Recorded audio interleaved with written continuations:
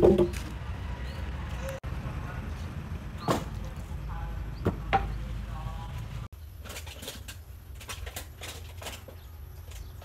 bây giờ vô thuyền đi bàn này.